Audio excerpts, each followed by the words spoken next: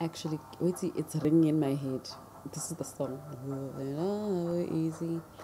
I think like when when i write ke thata bophelo bo easy eh ka nako tse le i think that the song merges into almost like a for lack of a better description almost trying to fluidly move into what's required to fulfill your purpose outside from what you grew up as. Do you know like you grew up as this person with certain values, certain expectations, requirements, responsibilities, and then when it comes to you needing to fulfill your purpose in the world, it becomes that thing where actually uh eh, yona you know or it spana later but right now you need to figure out how this game works and this is how the people are. This is how people think in this in this in this space.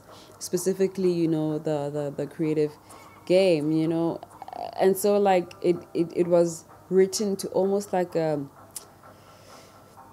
almost like a remind one that there's a greater guidance through all of it you know? Because there's that verse the, the, there's the verse where it says when will i when I uh, no the chorus where it says you know stars give me fire in my life and in my dark you know?